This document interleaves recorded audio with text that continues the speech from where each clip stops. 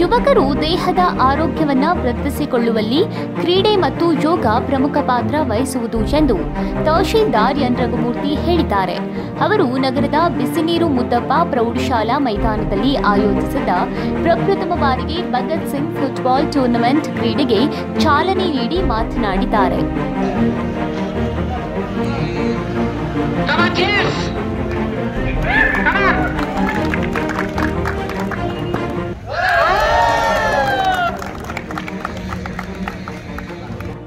ಕ್ರೀಡೆ ಎನ್ನುವುದು ಮಾನಸಿಕ ನೆಮ್ಮದಿಗೆ ಹಾಗೂ ದೈಹಿಕ ಆರೋಗ್ಯಕ್ಕೆ ಉತ್ತಮ ಔಷಧಿ ಗುಣ ನೀಡುವುದು.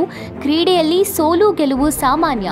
ಇದರಿಂದ ಕ್ರೀಡಾಪಟುಗಳು ಸೋಲನ್ನ ಸಮಾನವಾಗಿ ಸ್ವೀಕರಿಸಬೇಕು ಎಂದಿದ್ದಾರೆ. ಇನ್ನು ಜೆಡಿಎಸ್ ತಾಲೂಕು ಅಧ್ಯಕ್ಷ ಪಿ ತಿಪ್ಪೇಸ್ವಾಮಿ ಮಾತನಾಡಿ, ಇಂದಿನ ಯುವಕರು ದೇಹವನ್ನ ಹುರಿ ಮಾಡಿಕೊಳ್ಳುವುದು ಅಥವಾ ಸದೃಢ ಮಾಡಿಕೊಳ್ಳುವುದು ಅತ್ಯವಶ್ಯಕವಾಗಿದೆ.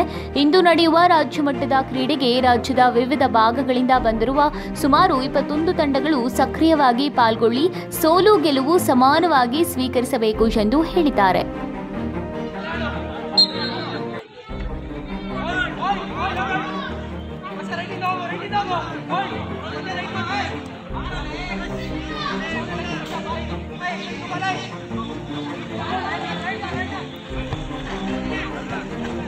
ಭಗತ್ ಸಿಂಗ್ ಫುಟ್ಬಾಲ್ ಆಯೋಜಕರಾದ ಪ್ರದೀಪ್ ಕುಮಾರ್ ಮಾತನಾಡಿ, ರಾಜ್ಯ ಮಟ್ಟದ ಕ್ರೀಡೆಯನ್ನ ವಿಜ್ಞಾನ ನಗರಿಯಲ್ಲಿ ಮೊದಲ ಬಾರಿಗೆ ಆಯೋಜಿಸಿರುವುದು ಸಂತಸ ತಂದಿದೆ.